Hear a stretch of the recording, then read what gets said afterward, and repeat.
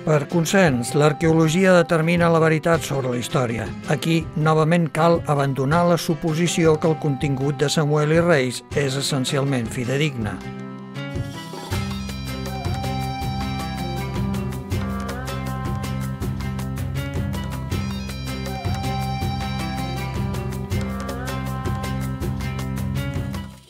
700 anys abans de Crist, el rei assiri Senacarib va venir des del nord conquerint les ciutats de Judea, una per una.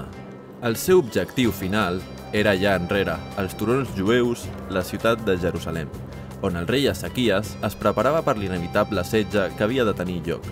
Però abans que Senacarib pogués arribar-hi, havia de conquerir la increïblement fortificada ciutat de Lagis, durant la conquesta, el seu exèrcit va construir aquesta rampa fins al cim de les muralles de la Xís.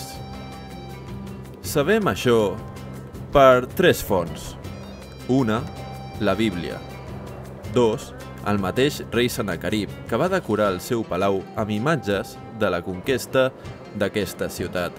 Finalment, els arqueòlegs d'avui dia caven en aquest tresor arqueològic, donant encara més informació sobre els successos d'aquella època.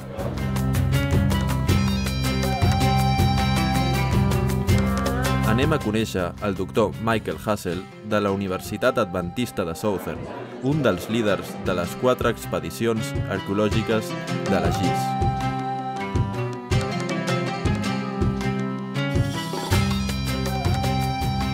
Una de les increïbles contribucions de la quarta expedició a la GIS és el descobriment que vam fer de la mida real del jaciment, en el que anomenem nivell 2, que ve a ser el 6è i 7è segle abans de Crist, just abans de la invasió final de Nabucodonosor.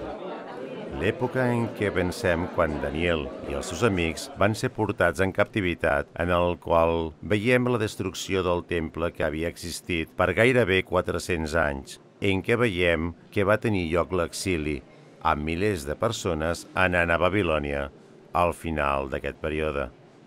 Sabem que el jaciment va ser massivament destruït, però com era de gran? Les expedicions prèvies havien conclòs que la zona no estava extensament ocupada en l'època.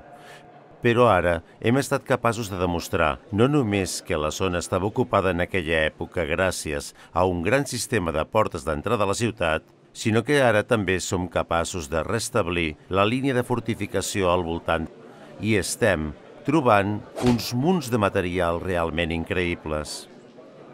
Un dels molts increïbles descobriments que hem fet va ser l'any passat, quan vam trobar un test o atuell ple d'eines de ferro. I per fora del vas hi havia un segell imprès, i aquest segell tenia el nom d'un individu. El que és encara més fascinant és que a penes uns metres més enllà d'on trobem aquest atuell, una copa de medició es va trobar en els 60 amb 17 segells impresos amb aquest petit objecte, i un d'aquests segells nomena el mateix individu. Es va trobar tot just uns metres de distància. I bé, això provoca una pregunta. Hem trobat una casa amb la qual podem identificar l'amo?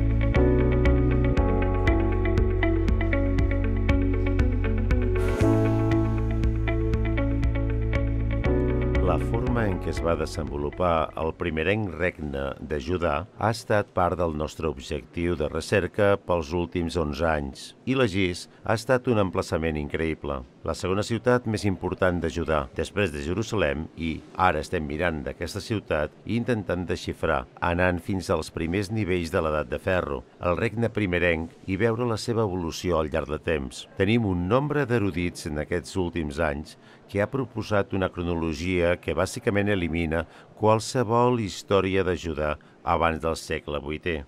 Això ve a ser tot el que el primer període dels reis com Saül, David, Salomó, Robam ha estat bàsicament eliminat. Comencem amb Acab, un període més tardà de la seva història.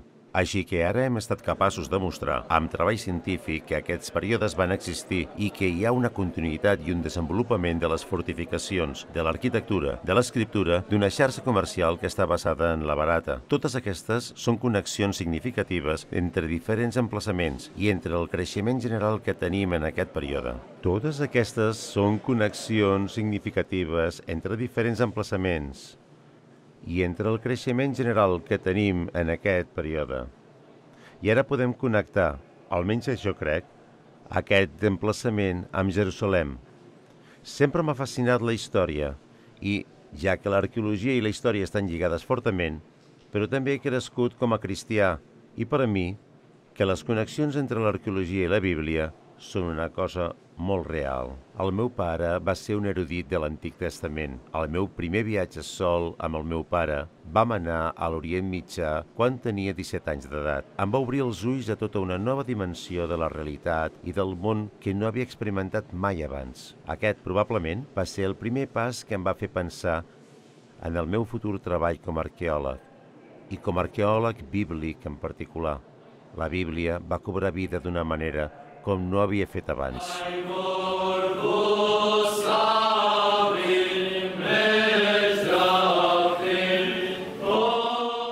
El pare del doctor Hassel va ser un prominent teòleg cristià que creia que la Bíblia era certa.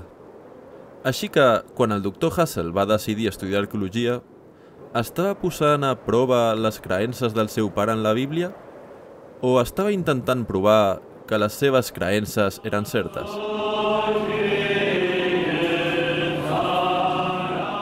Creixent en una família cristiana, en una comunitat cristiana, és a vegades complicat en aquest context a l'especificar un punt concret, quan un es converteix en cristià.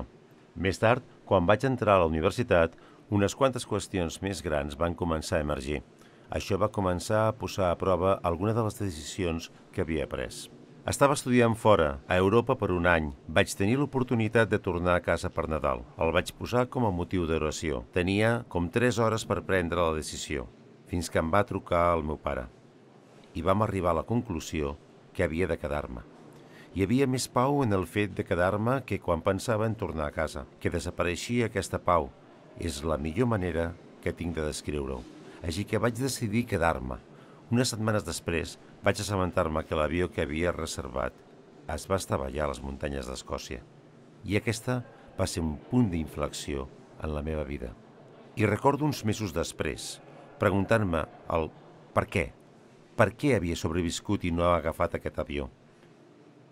I, ja saps, aquest va ser un punt clau en què preguntar les qüestions fonamentals amb les que havia de bregar aquest any. I vaig anar a la Bíblia, i vaig trobar en les escriptures moltes de les respostes a aquestes preguntes. I va ser un moment de despertar per a mi, i per primera vegada necessitava saber per mi mateix qui era com a cristià i si era una cosa que realment em va convèncer. La universitat a la qual vaig assistir pel meu pregrau i per al meu màster era una universitat cristiana, la Universitat d'Andrews, i va ser una influència per a mi en el desenvolupament i l'evolució de les meves idees sobre l'arqueologia, sobre la Bíblia, sobre els antecedents bíblics. Vaig tenir l'oportunitat de ser voluntari i treballar al Museu Arqueològic del campus. Vaig començar a anar a excavacions en aquest període. I a cada estiu, cada oportunitat que tenia, anava als projectes de les excavacions. I alguns estius anava fins a dues vegades.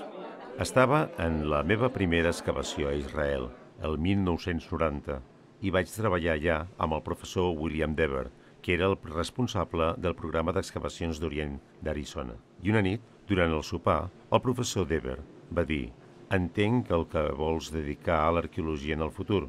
Estaries interessat en la Universitat d'Arizona?» Arizona va ser una bona experiència en molts sentits, però també va ser desafiant. Vaig anar des d'una visió cristiana del món fins a una visió completament secular del món. Sabia que això passaria, intel·lectual i teòricament, però no sabia com anava a ser exactament en el context. Recordo la meva primera classe, una de les primeres classes del semestre de tardor, que el professor es va aixecar en el principi de la classe i va dir Sé que molts de vosaltres veniu de sinagogues i esglésies i que molts de vosaltres esteu per primera vegada en una universitat de l'Estat. i que heu après de la Bíblia en una forma específica i des d'una perspectiva particular. Però ara som a la Universitat de l'Estat i anem a descobrir què va passar realment. Va haver-hi estudiants que van sortir d'aquesta classe plorant perquè, bàsicament, els va arrencar de la fe de socarrel. Jo vaig prendre la decisió d'avaluar diàriament tot el que estava aprenent sota les bases de l'escriptura. Tot i que desafiava la meva fe, també la feia créixer de forma gegantina. Els hi dic als meus estudiants d'ara que vaig estudiar el doble de dur que altres estudiants, perquè no només havia d'estudiar la matèria que estava aprenent, sinó que havia d'investigar com això encaixava amb tot el que coneixia, amb el que sabia des de la perspectiva bíblica. Saps? No tenia les respostes per a tot. Encara no tinc respostes per a tot. Aquest és un dels plaers de la investigació profunda i de la profunda indagació científica.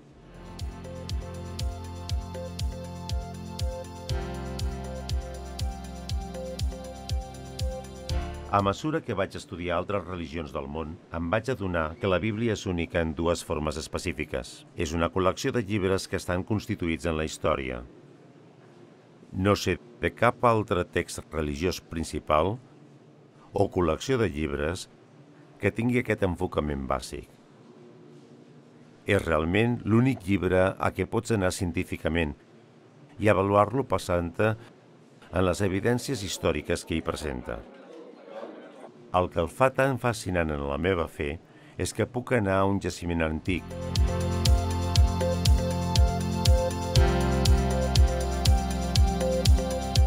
Puc gestionar el material, ja siguin textos, inscripcions, escuts o inscripcions d'escuts. Ho fa tridimensional.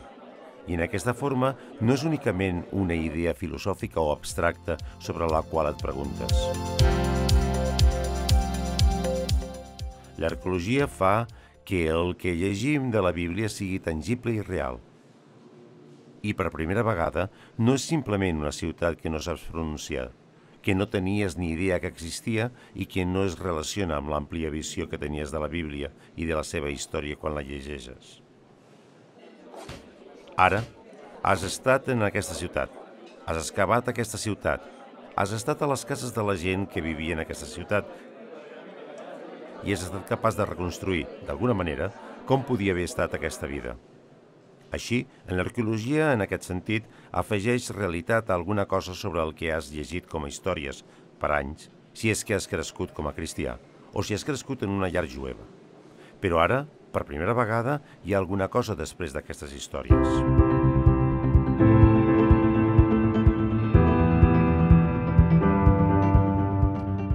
Gis és un jaciment molt important si ens fixem en la seva història i quan ens adonem que hi ha ciutats superposades, les unes damunt de les altres. Des d'un període primerenc a què ens referim com a la mitjana edat de bronze i la tardana edat de bronze. Aquestes són èpoques en què la ciutat s'expandeix i és una gran fortificació, una gran ciutat-estat en aquell període. Aquest és el període dels patriarques en el període bíblic. Més tard, durant la conquesta, és una de les ciutats que van formar una coalició contra Israel, que els està envaint sota el lideratge de Josué i la famosa història de Josué i el sol mantenint-se en el cel. El rei de l'Agís és un dels antagonistes en aquesta història. Després no s'esmenta per uns 200 o 300 anys fins al regnat de Roboam, el fill de Salomó, qui es diu que fortificà la ciutat de l'Agís i va esdevenir una important ciutat real fortificada a Judà. Podríem dir que la segona ciutat més important de Judea després de Jerusalem.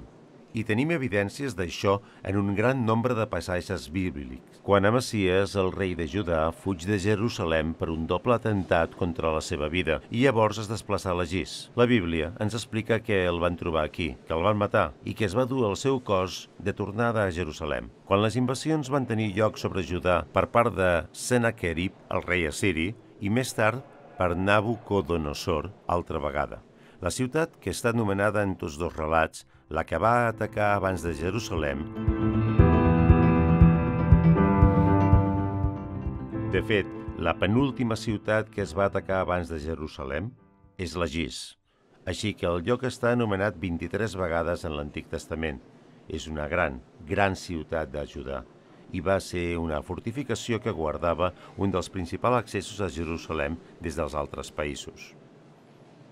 Si el rei egipci venint des del sud, o els reis de Babilònia o Síria venint des del nord, o els filisteus venint de l'oest, si ells, si algun d'ells volgués fer qualsevol intent d'atacar Jerusalem, haurien d'enfrontar primer a l'Egís. Una de les contribucions de la quarta expedició a l'Egís era proporcionar una font d'investigació original, i això consistia en explorar els nivells 4 i 5. Són els nivells que coincideixen amb el període del segle IX i el tardà segle DC abans de Crist. Aquests són els nivells que es remunten a la part més primerenca de la monarquia, almenys tant d'hora com ho va ser l'Egís. I una de les majors preguntes que es van formular en el passat va ser l'extensió del jaciment. En cròniques s'esmenta que Roboam va fortificar i va construir muralles al voltant de diverses ciutats i l'Egís està esmentada en aquests passatges. Però fins ara, cap de les expedicions prèvies ha trobat muralles de ciutat de l'època de Roboam. Així que un dels objectius que teníem era tornar a Gis, fixar-nos en el sistema de fortificació i veure la seqüència de muralles que realment hi havia. I ho hem aconseguit en aquest període de 5 anys que portem treballant aquí. I en les últimes dues temporades hem començat a excavar una muralla immensa atrapada entre les muralles del nivell 6 i les muralles dels nivells 4 i 3. Ara tenim una muralla del nivell 5, amb un meravellós sol que s'estén entre ella, amb precioses cases al llarg de la muralla, i amb un nombre important d'ossos d'oliva que hem estat capaços de remetre a la Universitat d'Oxford per analitzar.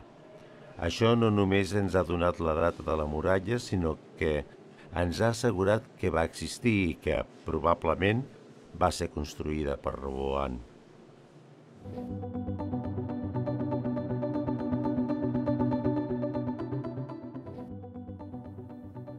Convertir-se en arqueòleg no és una tasca trivial. Requereix anys d'educació i experiència. Però, en les mans d'un arqueòleg, un tros de ceràmica com aquest, trobat en context i analitzat amb el coneixement pertinent, es converteix en una finestra al passat.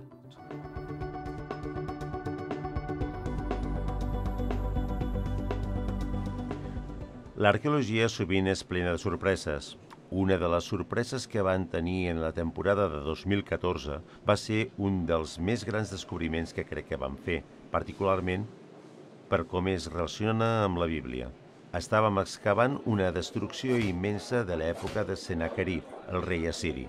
Sabem que Sennacherib no només va atacar la ciutat de Lagís, sinó que la va destruir, basant-nos en expedicions prèvies i també basant-nos en la seva pròpia crònica, on s'hi descriu, de forma molt minuciosa, la seva campanya contra Judà. El succés està descrit també en tres dels llibres de la Bíblia, a Isaías, en Reis i en Cròniques, amb força detall.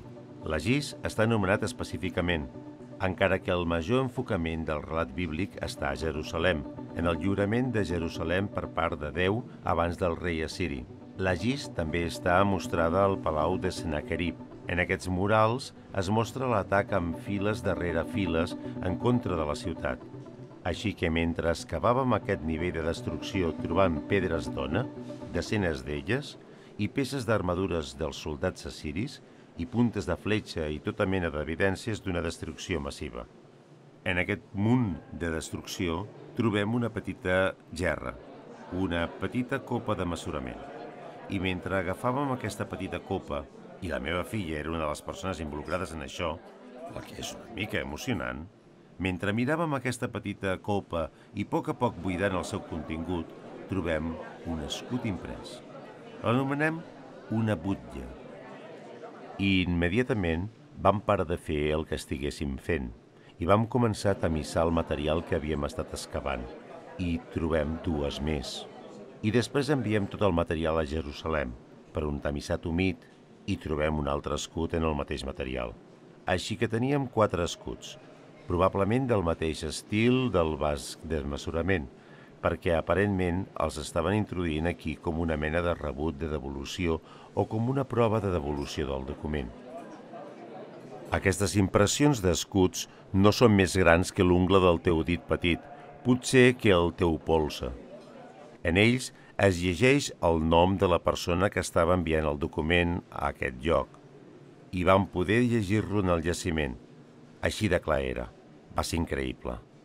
I sabem que posa Eliakim, el fill de Hilkia, o pertanyent a Eliakim, el fill de Hilkia. Nosaltres tenim a un Eliakim esmentat a la Bíblia en diversos passatges, però hi ha un Eliakim en particular que és denomenat en el temps d'Ezequies, en el temps d'aquesta destrucció. I aquest Eliakim és el cap de la guàrdia de Palau de Jerusalem. I aquí tenim l'evidència d'un document enviat per ell a la segona ciutat més important, la Gis. Nosaltres creiem que pot ser el mateix Eliakim, encara que no podem estar 100% segurs, basant-nos en un nombre d'aspectes de l'estudi que hem estat duent a terme. I si aquest és el cas, llavors és la primera vegada que hem trobat evidències d'Eliakim, el cap de la guàrdia de Palau d'Ezequies, aquí al jaciment, i això proveeix una triangulació de noms. Sabem de la campanya de Senaquerib, aquí. Hem trobat el seu nom i en els seus propis relleus tenim Ezequies esmentat per Senaquerib per nom, tenim un escut del pare d'Ezequies, Acaz, esmentat pel seu nom, i ara tenim a una persona a la cimera de la societat de Judà, Eliakim, esmentat també pel seu nom. I això és gairebé tan bo com anar cap enrere i estrenyir la mà a algú.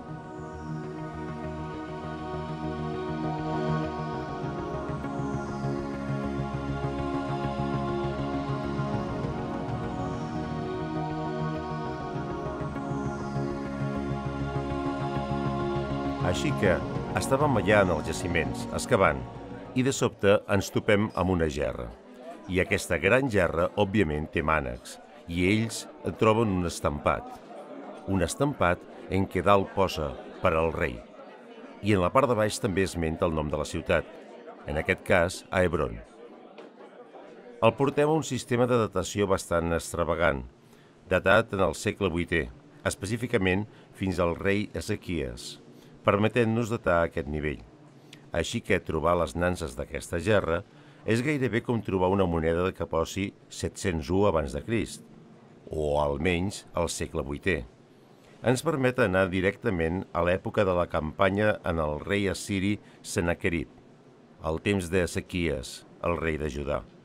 Senaquerib és un dels reis més poderosos de l'antic regne de Síria i ve amb un objectiu al cap, i aquest és conquerir Egipte. Conquerir Egipte era l'objectiu de tot rei de Mesopotàmia tenia. Només hi havia un problema. Entre Síria i Egipte hi havia el regne de Judà. Israel ja havia estat portat en captivitat al 722 abans de Crist i després en el 701 abans de Crist. 21 anys després, Senaquerib ha de conquistar aquest territori. Ve amb la seva armada i conquesta un seguit de ciutats. L'última ciutat que ha de conquerir abans d'arribar a Jerusalem és la ciutat de Lagís, una altra vegada testificant de la seva importància en l'esfera geopolítica de l'antiga Judà. Llavors va establir el seu campament i observa aquest gran turó que ha destruït i supervisa tota l'operació des de la seva posició privilegiada. La ciutat és completament destruïda i llavors la seva armada es dirigeix a Jerusalem, on els termes del setge de la ciutat es donen a les persones de la muralla. I una d'aquestes persones és Elicaim, el cap de la guàrdia de la casa. I la Bíblia va més enllà. I explica que aquella nit l'àngel del Senyor baixà i quan es desperten al matí i miren més enllà de les muralles, veuen a tota una armada siriana morta. Així que aquest és un miraculós lliurament a Jerusalem. És curiós que al palau de Senaquerib, Jerusalem no està present, Només la Gis està present en aquest mural, com conquerida. Així que el punt focal que Senaquerib té està en la Gis.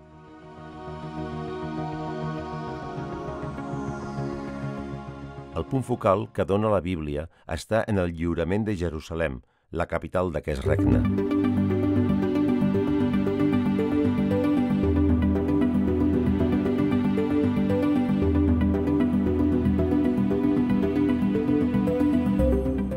Moltes vegades, els usos negatius de la Bíblia i de les Sagrades Escriptures venen d'una agenda molt positivista, on, si no veus evidències d'alguna cosa, no va passar.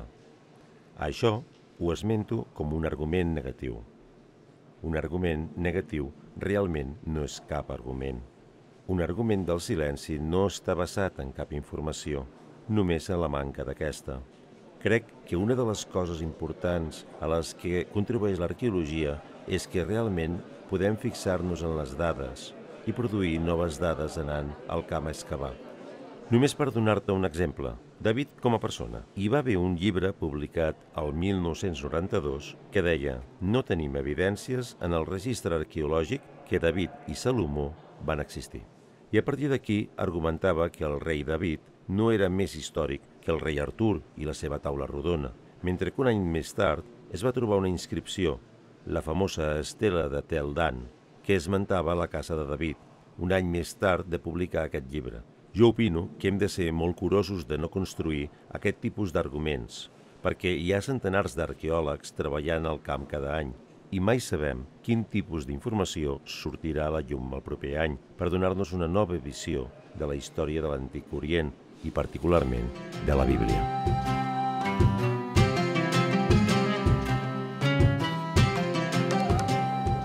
Aquesta escola de pensament diu que, a menys que hi hagin evidències arqueològiques que recolzin la història que hi ha a la Bíblia, aquesta no és digna de confiança. És interessant puntualitzar que quan els arqueòlegs com el doctor Hassel posen a prova el text de les escritures contra l'evidència empírica, la Bíblia surt a flotació increïblement bé